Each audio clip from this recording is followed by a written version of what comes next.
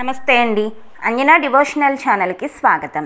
ఈరోజు మన వీడియో ద్వారా ఎలాంటి భోజనాన్ని చెయ్యాలి ఎలాంటి భోజనం చేయకూడదు నియమాలు అనేవి ఈ వీడియో ద్వారా తెలుసుకుందామండి. ఓం శ్రీ గురుభ్యో నమ ఓం శ్రీ మాత్రే నమ ఓం నమ శివాయ. ఈరోజు మనం ఎలాంటి భోజనాన్ని చేయాలి ఎలాంటి భోజనం చేయరాదు నియమాలు ఏంటి అవి చూద్దాం. కాకులు ముట్టుకున్నవి కానీ కుక్క ఆవు వాసన చూసినవి కానీ మనం భోజనం చేయకూడదు.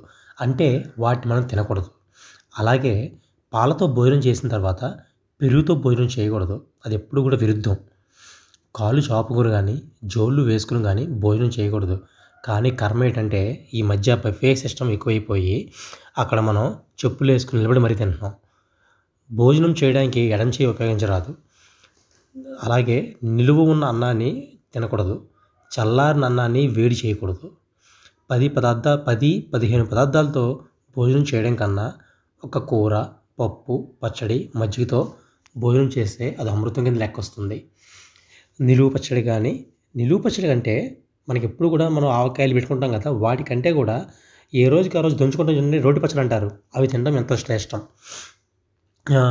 మనకి ఈ నిలువు పచ్చళ్ళలో వయసులో కొన్ని ఉంటాయన్నమాట. అంటే ఎలాగంటే ఆ, నీళ్ళు పచ్చళ్ళు కూడా అందరూ తినకూడదు. రెండు రోజులకు ఒకసారి మధ్య వయసులోకి అంటే రెండు రోజులకు ఒకసారి మధ్య వయసులో వారైతే వారానికి రెండు సార్లు నలభై దాటిన తర్వాత అయితే పదిహేను రోజులకు ఒకసారి యాభై దాటాకైతే నెలకోసారి తీసుకోవడం అంటే ఆరోగ్యకరం. అంటే ఒక వయసును బట్టి కూడా వాళ్ళు ఎక్కువసార్లు తీసుకోకుండా ఉండేలాగా మంచిదన్నమాట. గ్రహణం రోజున అంటే సూర్యగ్రహణం కానీ ఆ సూర్యగ్రహణం అనుకోండి పన్నెండు గంటల ముందుగా అలాగే చంద్రగ్రహణం అనుకోండి తొమ్మిది గంటల ముందుగా ఎలాంటి ఆహారం తినకుండా ఉండడం మంచిది. దూడను కన్న తర్వాత ఆవు కానీ గేదె కానీ వాటి నుండి వచ్చే పాలు పది రోజుల వరకు సేవించకూడదు. తడి పాదాలతో భోజనం పొడి పాదాలతో నిద్ర అనారోగ్యం కలగజేస్తాయని శాస్త్రాలు చెప్తున్నాయి. రాత్రి పడుకునే ముందు కాళ్ళు కడుక్కొని నిద్రకి ఉపక్రమిస్తే సుఖనిద్ర పడుతుంది అని విషయం ఏంటంటే మీకు ఈ పడుకునేటప్పుడు కాళ్ళు తడి ఆరిపోయాక పడుకోవాలి. తడిగా ఉన్నప్పుడు పడుకోకూడదు. అలాగే పడుకునేటప్పుడు తప్పనిసరిగా పక్కనే అందుబాటులో మంచినీరు ఉంచుకోండి. ఎప్పుడైనా సరే కావాలంటే టక్కున తాగడానికి వీలుగా ఉండేలాగా గుర్తుంచుకోవాల్సిన ముఖ్య విషయం ఇంకోటి ఏంటంటే నిద్ర మధ్యలో ఒకవేళ మధ్యలో కానీ లేచి శరీర ధర్మం నిర్వర్తించాల్సి వస్తే అంటే మన టాయిలెట్ కానీ బాత్రూమ్ కానీ వస్తే అలా మగతగా నడుస్తూ వెళ్ళొద్దు. ఒక నిమిషం కూర్చుని ఒక నిమిషం చుట్టూ ఆ పరి వాతావరణం మొదట గోడలు చుట్టూ గది మొత్తం చూసి ఒకసారి ఒక నిమిషం పాటు కూర్చుని ఆ తరువాత లెగిసి వెళ్ళండి. ఎందుకంటే ఎక్కువ ప్రమాదాలు ఆ సమయంలో జరుగుతున్నాయని చెప్పేసి బయట మనం డాక్టర్స్ చెప్తున్నారు. అలాగే ఆచమనం చేసిన తర్వాత ఆచమనం చేసిన తర్వాతే మనం భోజనం తినాలంటారు. అంటే ఆచమనం చేసి అన్నం నమస్కరించి అప్పుడు భోజనం చేయాలి. భోజనం చేసేటప్పుడు కూడా పదార్థాలని చూసి చిరాకు పడకూడదు. అంటే ఈ కూర నాకు ఇష్టం కాదు ఇది నాకు ఇష్టం కాదు అని దయచేసి సనకండి ఎవరు కూడా. అలాగే ఎవరైతే అది వండించి మనకు వడ్డించారో వండి వాటిని అభినందించండి కుదిరితే మీకు. అప్పుడే మనం తిన్న అన్నం అన్నం మనకి బలాన్ని మనకి యొక్క సామర్థ్యాన్ని ఇస్తుంది. లేకపోతే తిన్నది వికటిస్తుంది అనమాట చాలామంది భోజనం మధ్యలో లేచిపోతుంటారు మాట్లాడుతుంటారు లేకపోతేనేమో ఈ చేతిలో అన్నం ఆడికి ఆడుతుంటారు చాలా తప్పండి అసలు. ఈ భోజనం మధ్యలో ఎప్పుడు కూడా లేవకూడదు. అసలు మాట్లాడకూడదు అనమాట మౌనంగా మీరు భోజనం ఎంత చేస్త ఎంత బాగా చేస్తారో అంత మంచిది మీకు.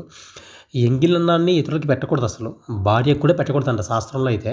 భార్యకు కూడా ఎంగిలి పెట్టద్దు అంటారు. అలాగే పదార్థాలు బాగున్నాయి తింటే ఆయుష్ తగ్గుతుంది అంటారు భోజనం అయిపోయిన తర్వాత మళ్ళీ ఆశ్రమం చేయాలి. ఆచమనం అయితే తెలియనప్పుడు భగవంతుని స్మరించి ఆపై భుజించాలి. ఒకవేళ ఎవరికైనా ఆచరణ తెలియదు అనుకోండి ఒకసారి భోజనం చేసాం దండం పెట్టుకుని భోజనం మళ్ళీ దండం పెట్టుకుని మనం లెగాలి. ఎప్పుడు కూడా మనం నేర్చుకోవాల్సింది ఏంటంటే అండి తినే కంచంలో కానీ ఆకులో కానీ ఏం మిగలకూడదు. అంటే దాని అర్థం ఏంటంటే అన్ని బలంతో తీయమని కాదు. మీకు ఏది కావాలో అదే పెట్టించుకోండి. మీకు ఏది కావాలో ఎంత కావాలో అదే పెట్టించుకోండి అంతే పెట్టించుకోండి. తినేసి శుభ్రంగా ఆకులు శుభ్రం చేసి వెళ్ళండి. రోజుకి రెండుసార్లు భోజనం చేయాలని ఒక తైత్తిరీయ బ్రాహ్మణం సెలవిస్తుంది. రెండుసార్లు మధ్యలో ఆహారం తీసుకోకపోతే ఉపవాస ఫలం కూడా మనకు వస్తుంది. భోజనం చేసేటప్పుడు తూర్పు వైపు తిరిగి చేయాలని ఎక్కువ చెప్తారు. తూర్పు వైపు తిరిగి చేయడం వల్ల ఆయుర్దాయం అలాగే దక్షిణానికి తిరిగి భోజనం చేస్తే కీర్తి ఉత్తరం వైపు తిరిగి భోజనం చేస్తే కోరికలు ఫలిస్తాయంట.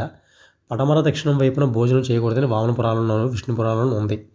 కాక తూర్పు వైపు పోదికి భోజనం చేయడం అనేది అన్ని శాస్త్రాల్లో ధర్మాలు ఏకగ్రీవంగా ఒప్పుకుంటున్నాయి. ఆకుల మీద ఇనుప పీటల మీద కూర్చుని భోజనం చేయకూడదు. ధనాన్ని కోరుకునేవాడు మర్రి జిల్లేడు రావి తుమ్మి కానుగ ఆకుల్లో భోజనం చేయాలి. మోదుగా తామర ఆకుల్లో సన్యాసులు మాత్రమే భుజించాలి. భోజనానికి ముందు తర్వాత ఆచమనం చేయాలి లేదా దేవుణ్ణి తప్పక స్మరించుకోవాలి. తినే ముందు అన్నానికి నమస్కరించి తినాలి. ఇవన్నీ పాటిస్తే మనకు అంతా మంచి జరుగుతుందండి. ఇంతటితో నమస్తే. ఓం శ్రీ గురుభ్యో నమ. ఓం శ్రీ మాత్రే నమ. ఓం నమ శివాయ.